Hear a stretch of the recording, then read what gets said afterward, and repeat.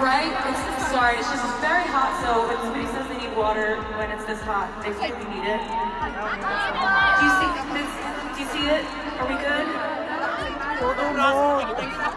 We don't need to chant. It's totally fine. We just need to get water to them. Water, water, water, water, water, water. Got it? Do you see them now? Okay. It, it's coming. Amazing. Taylor Swift is mourning the death of a fan who died just moments before she attended the Eras Tour concert Friday night in Rio de Janeiro, Brazil. Ahead of taking the stage at Estadio Nilton Santos, the Lavender Haze singer took to Instagram to share that she was devastated after learning about the fan's death.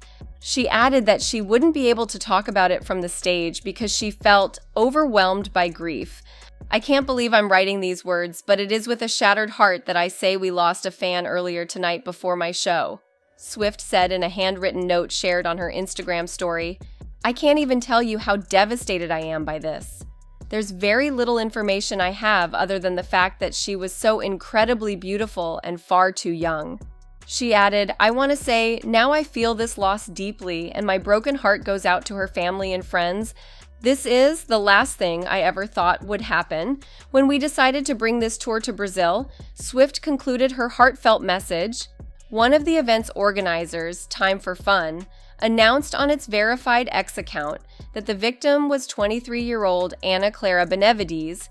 According to the organizer's statement, written in Portuguese, Ana felt unwell and was promptly tended to by paramedics before being taken to the stadium's medical center. She was then transported to a nearby hospital where she died. A Taylor Swift fan died during Friday night's concert in Brazil, in Rio de Janeiro, as the city came under a heat warning. 23 year old Ana Clara Benevides fainted while at the show and is believed to have had a cardiac arrest, according to her cousin and Brazilian newspaper Folha de Sao Paulo. Doctors at the scene attempted to revive the young fan, but were unable to do so. According to local reports, Benevides died after she went into cardiac arrest. According to the Associated Press, Brazil is battling a dangerous heat wave, so much so, it has forced vendors in Rio de Janeiro off the streets due to health alerts. The heat index hit a staggering 137 degrees on Tuesday morning. According to weather, weather.com, Saturday's feel like temperature is expected to be 111 degrees. Rio de Janeiro mayor Eduardo Paes took to his X account Saturday morning and shared the loss of a young woman's life at the show is unacceptable Amid the intense heat wave, the mayor has directed organizers to allow fans entry into the stadium an hour earlier than usual, increase water distribution points, and increase ambulances.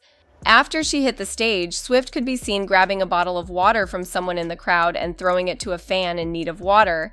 There's another video on social media showing Swift, along with fans, chant water in an effort to get security and staff's attention to help a fan in need. There's people that need water, right here, Swift said as she stood and pointed at a section of the crowd where fans appeared to be waving empty water bottles in the air. So, whoever's in charge of giving them that, please come and make sure that that happens. The Associated Press reported that fans complained they were not allowed to take water into the stadium, despite the soaring temperatures. The news agency reported that fans launched an online petition Saturday morning calling for a Benevides law to make water in events mandatory. In a matter of just a few hours, the petition garnered more than 150,000 signatures. Photos circulating on social media showed fans lining up at the stadium hours before the start of the show and they protected themselves from the intense heat with umbrellas. Tiago Fernandez, a friend of Benevides, told a local news outlet, I want Anna to appear on the screens at Taylor's show. He also posted a tribute to his friend on Instagram Friday.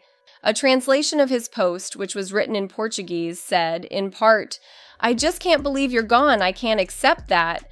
We talked about this show so many times, and how I wish I was with you. Swift's scheduled to perform again in Rio on Saturday and Sunday before resuming in Sao Paulo the day after Thanksgiving.